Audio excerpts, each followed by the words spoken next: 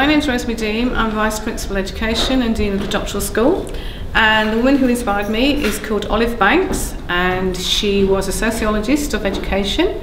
And I first met her at the University of Leicester in the very early 1970s when I just finished my first degree in sociology at Leicester and I was doing a master's in philosophy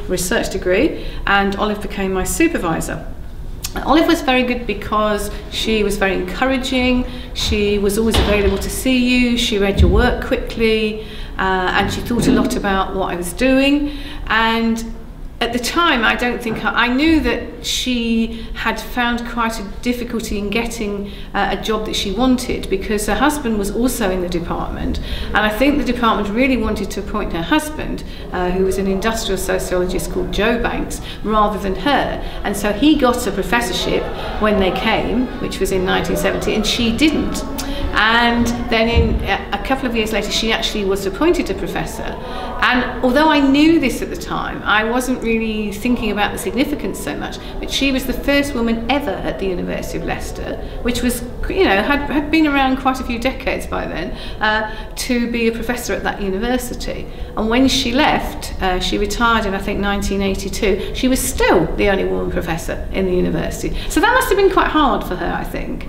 Uh, and I know that she always did a lot lot of teaching and she seemed to do a lot of administration. And that might possibly have had something to do with the fact that she was a woman. I kept in touch with Olive for a long time after I left. And about four years after I left, she wrote to me and said that a publisher had contacted her to see if she wanted to write a book about women in education. And she said that she didn't have time to do it because she was writing another book and would I like to do it? So I said yes. So that became my first book, which is called Women in Schooling, which was published in 1978. So without Olive, I not only would have not got the research degree, but I wouldn't have published the book either. And I kept in touch with her for a long time, even after she retired. And in fact, when I went to the University of Lancaster in the 1990s, uh, when I did my inaugural lecture, which is probably about 1994, Olive actually came to it which I was really pleased about.